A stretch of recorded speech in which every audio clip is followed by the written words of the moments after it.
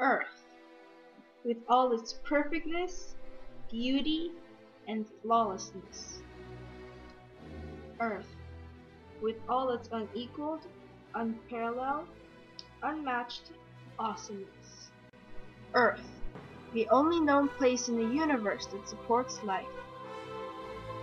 Gone. Dead. Destroyed. How will the future of Earth's natural resources affect the human race? By yours truly. Earth's resources are depleting at a record pace, and that's what you need to know. The fate of the human race depends on the future of our natural resources. It is up to us humans to use our natural resources in a way that will affect the human race positively rather than negatively. But, in order to do so, you must first learn about the importance of Earth's essential resources water and air.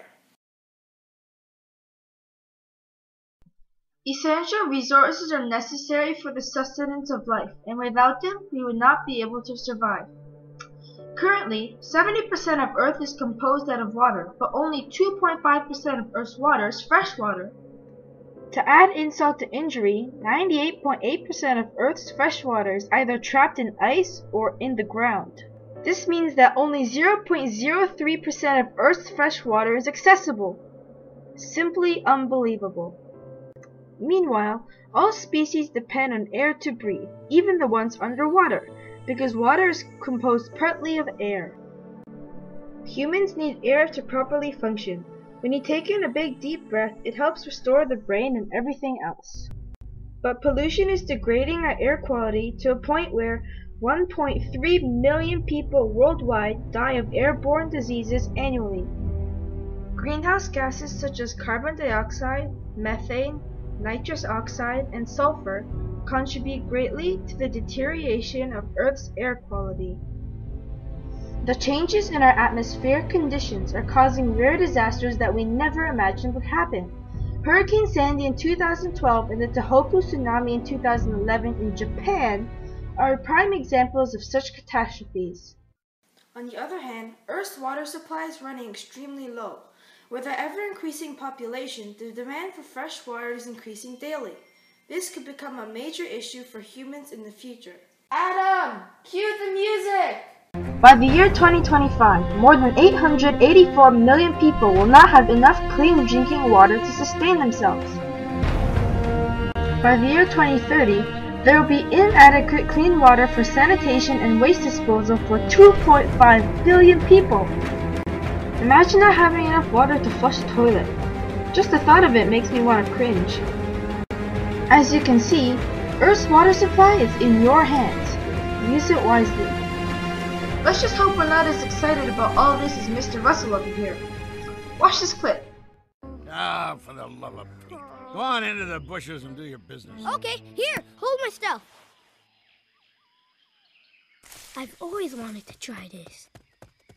Now what we've all been waiting for! The important resources! But wait, didn't we just talk about essential resources? No, silly. Important resources are much different.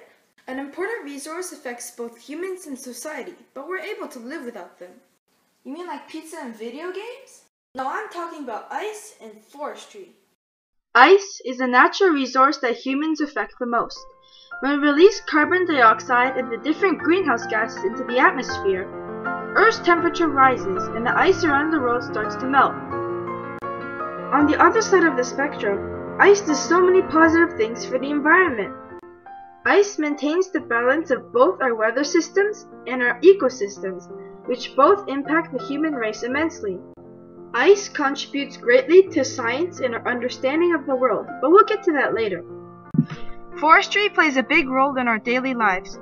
Forests and trees provide food, shelter, wildlife habitats, fuel, medicinal supplies, and most importantly, sources of oxygen.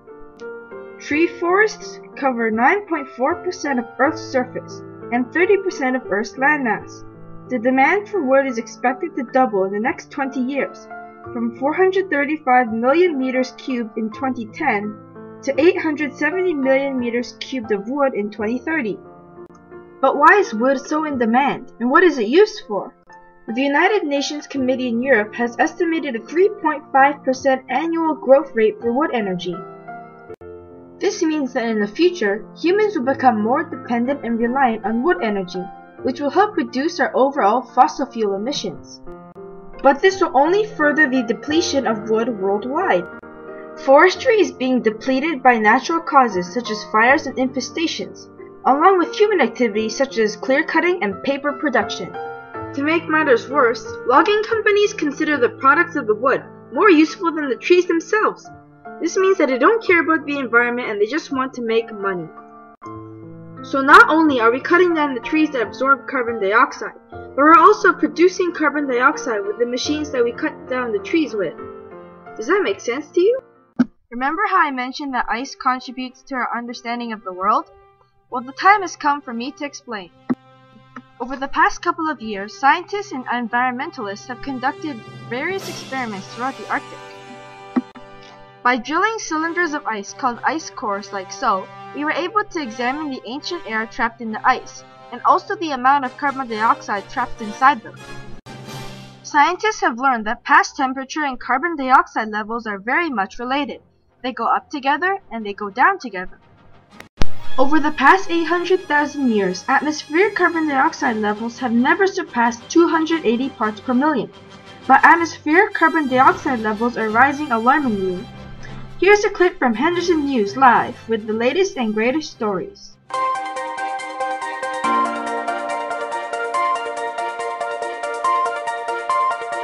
Audio Jungle.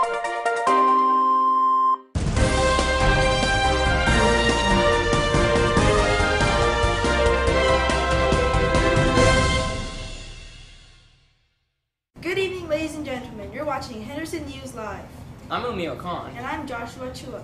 In tonight's uh, news, fans are getting excited for the release of the uh, new Man of Steel, which is the next Superman. What is this? Breaking news! We've just got a news that air pollution has surpassed 400 parts per million. Let's head down to the studio for an exclusive interview with Dr. Sanjay Gupta. Daniel? Thanks, Aamer. I'm with Dr. Sanjay Gupta over here. Mr. Gupta, for the viewers here at home, what exactly does 400 parts of a million mean? 400 parts per million, or 400 ppm, represents that for every 1 million parts of a substance, 400 parts of that substance substance are composed of something else.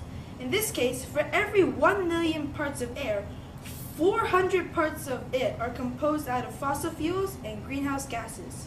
But how would this affect the human race? Well, essentially, four ten thousandths of every breath you take is now composed of toxic and poisonous chemicals. This could cause severe disease and illness worldwide. Thank you for that detailed explanation. This is Daniel Tham reporting for Henderson News. That's it for now. And, And as, as always, always, you you're watching watching Henderson Henderson News. News. Now that we have all this information, what can we do with it? Or in Spanish, Ahora que tenemos toda esa información, ¿qué hacemos con ella? we can start with application and the three R's reuse, reduce, and recycle. By reusing, reducing, and recycling our resources in various ways, we can solve the depletion and degradation problems associated with our natural resources. In the case of water, one solution could be to harness solar power and to use it to distill water and make it clean enough to drink. In the case of forestry, we can plant more trees to make sure there is a healthy regeneration of trees wherever logging is taking place. As for the other natural resources, my action plan has just a thing. Use and treat our natural resources now will affect the way we humans live in 10, 20, or even 30 years from now. We need to start raising awareness about how we're depleting our own natural resources. Many people don't even realize how serious this is. It's not a joke. To be honest with you, I'm actually pretty worried about our future here on Earth because, to tell you the truth, it's just not looking that great. So, in conclusion, the way we handle our natural resources in these upcoming years will be a test of our determination, perseverance, and our overall desire to survive.